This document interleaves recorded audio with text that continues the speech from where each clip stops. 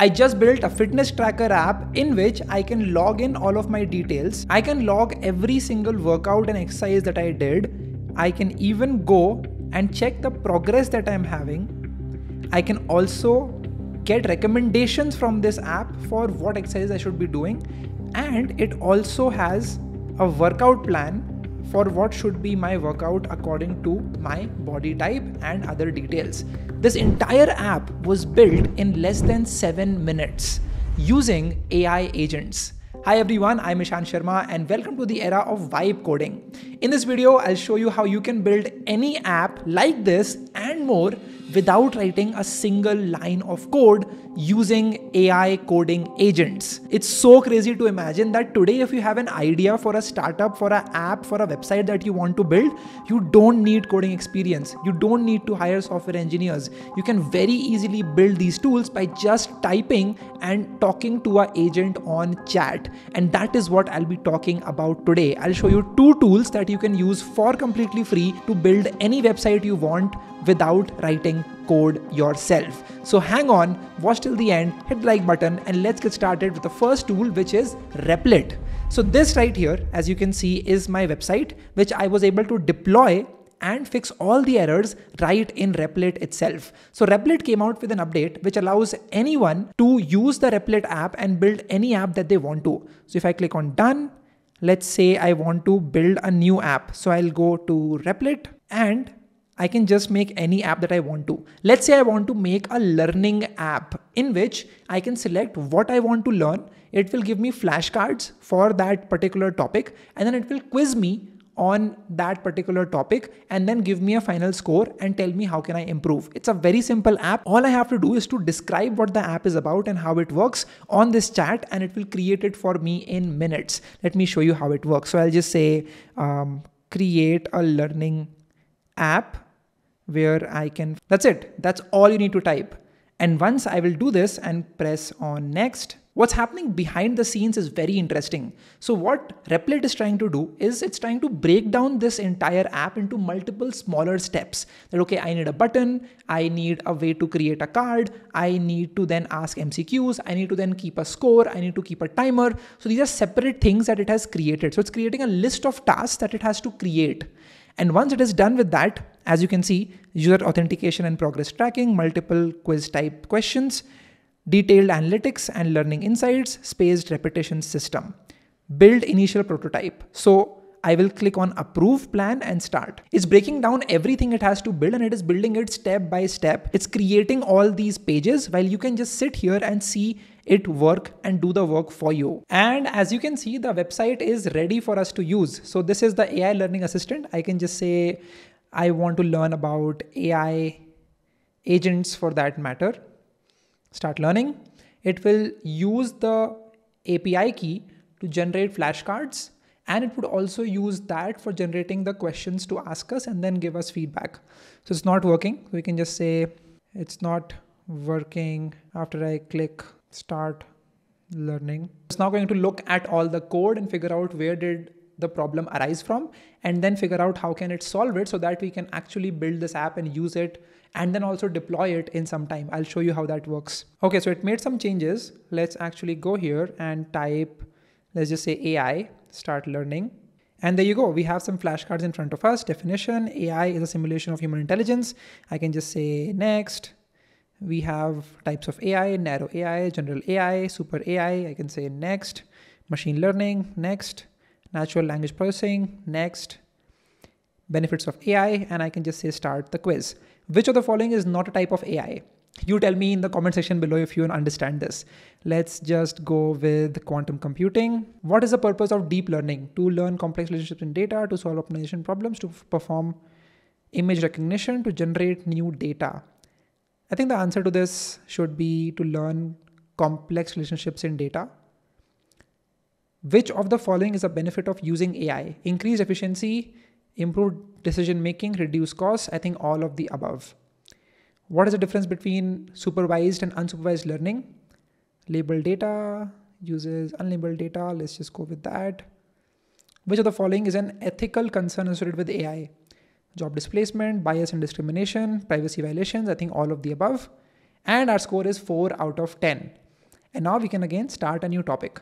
Very simple app we just built in front of you in less than five minutes. That is the power of Replit, and you can build literally anything that you want with it.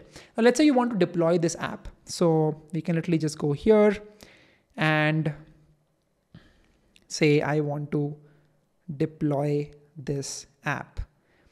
By the way, there's also this assistant that you can access and you can ask any question about the app that you've built with it. So let's say I can ask what Gemini model are we using here?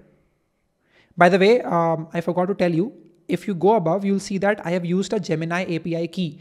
So this is the large language model that this app is using to generate the flashcards and then generate the you know questions as well for the MCQs. So it will now help me with deploying.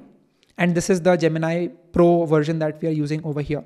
I can also ask any question about a particular file. So I can just reference that file Let's say I want to learn what does app.tsx do. So I can just ask what does this file do and I can press on enter and it will explain me anything about that particular file that I have a question of. So that's how assistant works. This is how the agent really works and I should now be able to deploy. Let me show you how that works. Let's just do setup deployment, approve, and deploy. That's it. That's all you need to do. This is how simple it is to build anything that you want to in minutes using Replit. You tell me in the comment section what app would you want to build? Let me know below.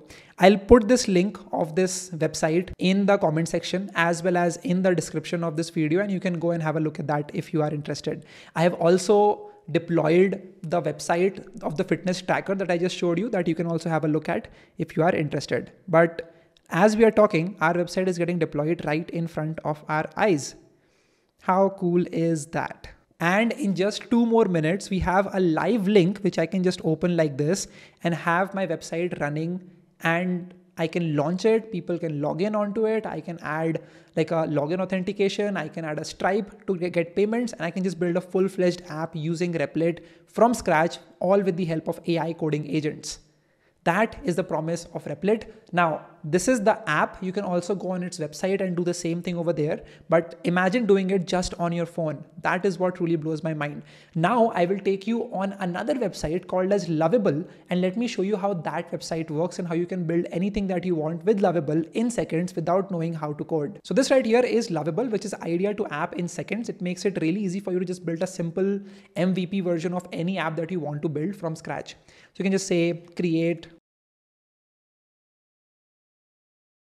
and set a monthly budget, right? So I will just press on enter. I'll just sign up for free. And once you log in, you should be able to access Lovable and this app will be built right in front of our eyes in literally seconds. Let me just press enter and look at how well it creates it from scratch.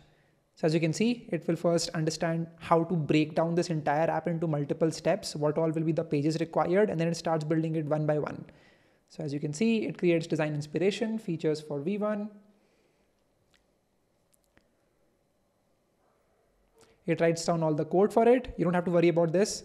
We can just sit back and relax while it codes everything for us and we can sip our coffee and hit the like button for this video. And as you can see in just a couple of minutes, our finance tracker is ready to go. As you can see, it first of all, it gives me the monthly overview. How much have I spent? Let's say I have a budget of $2,000. So I can look at all of that. I can also add transactions. So let's say I spent like uh, $20. Um, I had some food with that and I can say um, lunch with a friend. I can add a date, let's just add today and add transaction. And so this transaction will now be stored and I can see how much money I have spent. So that's how it, it works. I can also change the budget settings if I want to do that. I can set specific budgets for grocery, transport, bills. And as you can see, all of this it made on its own. I didn't have to specify everything. It did all the work itself. And I can also look at the dashboard. So that's how it works. This is what you can build with Lovable. And of course, you can also publish this. If you want to do that, I will click on publish and my site is published and is good to go. I will also put the link of this website in the comment section and the description of this video so that you can have a look at this. And if you will notice, this is actually responsive. So if I will like zoom in, this card actually goes down. But that's not all. You can build so much with Lovable. For example, I just asked it to replicate Trello completely. So I just said replicate Trello board feature to feature, add login mechanism as well as along with cards and all the other UI. So it literally built me the entire Trello you know app itself. So as you can see this is the login one. So i can enter my details. I have to connect, connect it with supabase so that it will store all of my login details and everything and then i'll be able to access that. So supabase is for logging in and all of the data that you want to store and the second one would be stripe. So once you do all of that then you can do user authentication and you can also receive payments with your application. That is one. I also built this very simple you know app in which you can track all of your dates that you're going on. So I just said I need a tracker to keep track of all of the dates.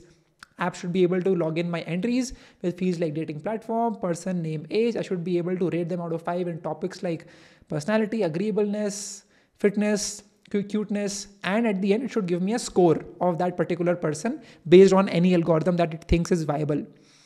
And then I should get a leaderboard from it. So I, I can just select any platform. I can just say A, I can add a age I can add ratings and it will basically add this as an entry right here. So that's how this works. It's a simple date tracker. I also built a simple user interface for Bumble, right? So this is what it looks like. I can swipe through with it like a card. I can also refresh this. And this is basically the simple app that you can build from scratch using Lovable. All I had to type was just a Bumble-like dating interface and this is what it came up with. So in this video, we discussed everything from what is Replit, how does it really work, how to build anything that you want with Replit. We talked about how to solve errors with Replit. You can also, you know, deploy any app on Replit. Then we also took a look at Lovable and how Lovable really works, how to build any app with Lovable, and then also you can publish any application on Lovable itself. This was an in-depth guide on vibe coding and how to build anything that you want without knowing how to code just with the help of AI coding agents. But there are so many more tools, right? I can literally show you more tools over here. There's one tool which is called as V0, which can again help you to generate any type of interface that you want to. As you can see, people are creating some epic stuff over here. This is our agency portfolio, which was built completely with AI using V0. But there's more. There's an app called Windsurf. Again, Windsurf is similar to Lovable and it helps you build any app that you want from scratch. You also have others, like there's a thing called Cursor that you can check out. This is a little bit more complex, so you need to have some experience in coding for using Cursor. But Lovable and Replit, basic just write the text and the app will be made in seconds for you. That was the video. That was all from me today. If you have any questions, let me know in the comment section below. Try out these apps for yourself and tell me what do you build with it. Send me the link of the app that you've deployed and show me what is your creativity level like. And I'll see you all in the next video. Hit the like button and subscribe. I'll see you in the next one.